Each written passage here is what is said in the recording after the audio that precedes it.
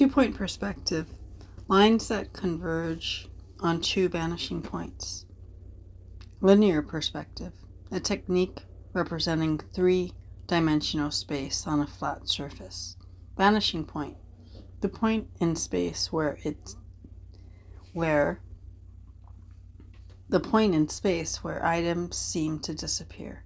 Vertical lines, straight lines drawn from top to bottom. What is two point perspective? Two point perspective. Lines that converge on two vanishing points. Linear perspective. A technique for representing three dimensional space on a flat surface. Vanishing point. The point in space where items appear to disappear. Vertical lines. Straight lines drawn from top to bottom.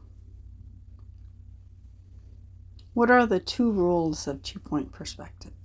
The rules to, to drawing in this perspective are simple. Vertical lines remain straight, while horizontal lines follow the angle of the vanishing points. Some artists prefer to draw a grid based on the horizon line and vanishing points to make this simpler. Right, what is the difference between one point and two point perspective. One point perspective uses one vanishing point placed on the horizon line. Two point perspective uses two points placed on the horizon line. Three point perspective uses three vanishing points.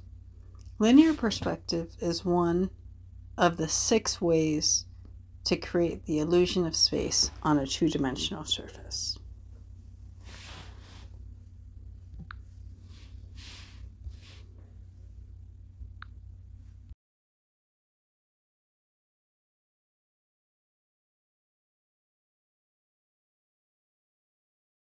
This is called freehand drawing.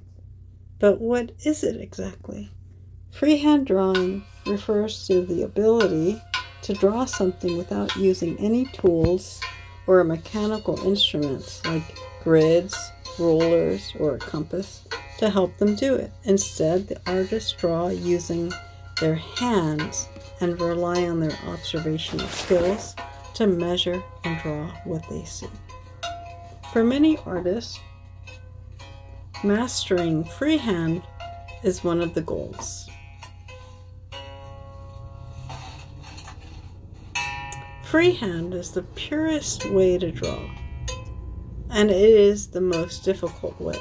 To draw something freehand, you must not use anything that could be considered an aid to do it. Tracing, taking measures, using a compass, or anything as such is not freehand drawing.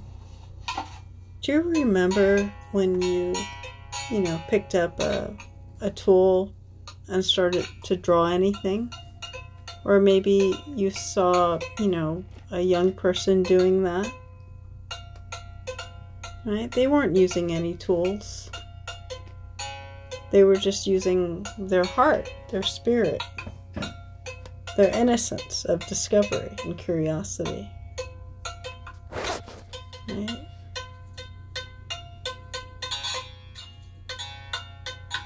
So it's natural for us as we're beginning here to feel like there's a necessity for grid, necessity for rulers,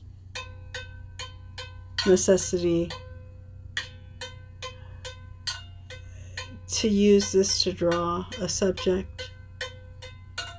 And yeah, while using rulers, great, and we will use rulers.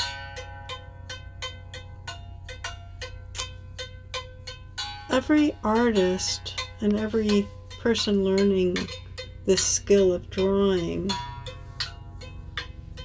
drawing freehand and being able to do this without any aid is, is, a, is, is a skill that is um, one of the objectives.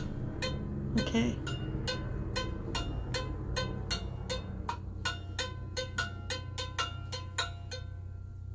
Right, and the more that um, you practice drawing freehand, the the better you'll get, right? And practicing uh, freehand comes with um, understanding and working with the word gesture, understanding and working with with your breath, and just working with